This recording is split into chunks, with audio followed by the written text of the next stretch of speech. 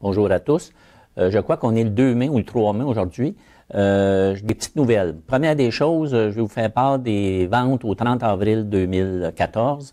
Euh, les ventes notariées ont baissé de 10% euh, à notre niveau, euh, nos chiffres notariés. Fait qu'il y a une tendance dans le marché un peu à la baisse. Par contre, nos parts de marché, eux, ont augmenté de façon substantielle. Ce que signifie, c'est que vous faites mieux actuellement que vos compétiteurs. Euh, J'arrive d'un meeting de, franchisés hier avec Yves et il arrive la même situation dans les autres marchés. Remax, ses parts de marché ont tendance à augmenter actuellement, mais les ventes globales, eux, baissent. Fait que bravo, vous faites mieux. Qu'est-ce qu'on peut faire maintenant quand on a une baisse de marché de 10 euh, la première des choses, c'est de ne pas baisser notre rétribution, parce que si vous faites une baisse du marché de 10% puis vous baissez votre rétribution moyenne de 10% vous allez avoir un revenu moyen de 20% Dans un marché un peu baissier en termes de volume, la chose qu'il faut faire, les délais de vente augmentent, l'effort de vente est plus grand.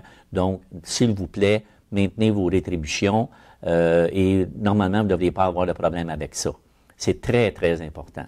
Et l'autre chose, vous devez travailler 10% à peu près plus fort.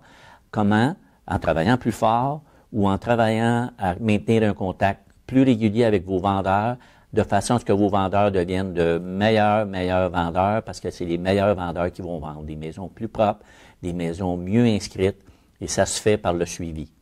Euh, fait que ça, je voulais vous dire ça. C'est important que vous soyez sensible à la situation du marché. L'autre chose, on a une super bonne nouvelle. Euh, Banque de Montréal vient de signer une entente provinciale avec Remax. Euh, donc, euh, nos prêteurs maintenant attitrés, ça sera Caisse populaire, Desjardins, Banque nationale et Banque de Montréal. On sait que nous, Banque de Montréal est un joueur important dans le marché hypothécaire.